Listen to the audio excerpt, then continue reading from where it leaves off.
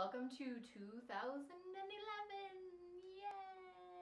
There's some really exciting things in store for 2011 for me and my family. And I just wanted to share those with you guys with a lot of our excitement and something that we can share with the fandom as well. Obviously, the big news for me is that I am pregnant. So I'm gonna have a little vampire baby. um, Jeremy and I are very, very happy about it.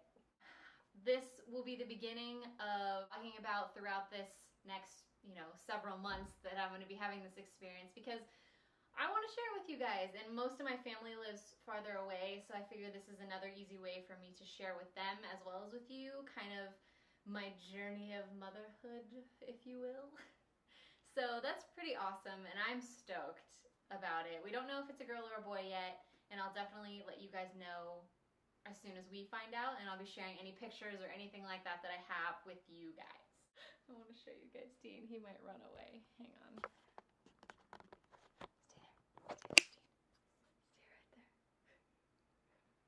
This is what happens when I vlog. I have people that come and watch me.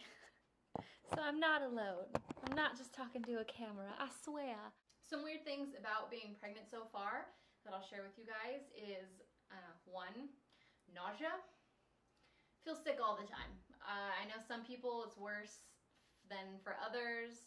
For me, it's really bad. I don't throw up actually that much, but I just live in Queasy Town, USA all the time it'll just like hit me out of nowhere and I'll just be like, oh, I don't feel good. Giles, do not scratch me. Ow, Giles, ow, get out. Number two thing that is really weird is I smell everything.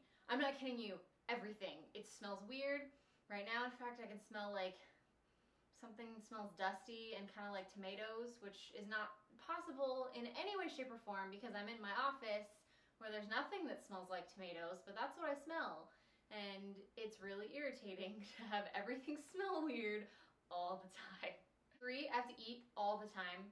I, in fact, wake up in the morning and have a little bowl of wheat thins that Jeremy puts by my bed for me every night when he goes to bed. Because as soon as I wake up, before I even do anything, put on my glasses, I just sit there and I eat my wheat thins.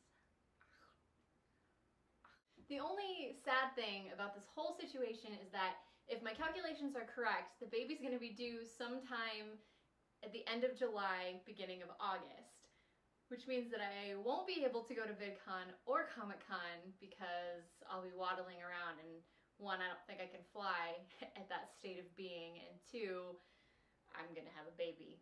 But I look at it as a bonus because that means from now on, every year for our baby's birthday, we can go to Comic-Con and VidCon and whatever con that's in July because they always seem to magically be in July. And so that will be awesome. Then I'll just bring my little baby with me next year to VidCon and everything. So that'll be awesome. So that's my really big exciting news of 2011.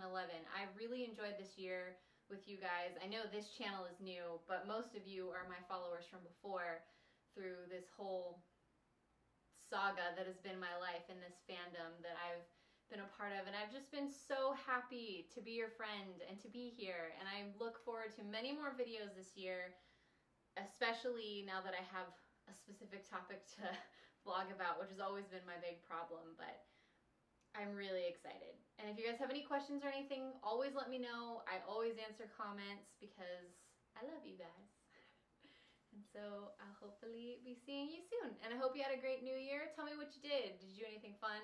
I sat around and watched the ball drop while drinking pear cider from Ikea because I was feeling nauseous. and look at how cool my necklace is. It's a fish. Bloop, bloop, bloop,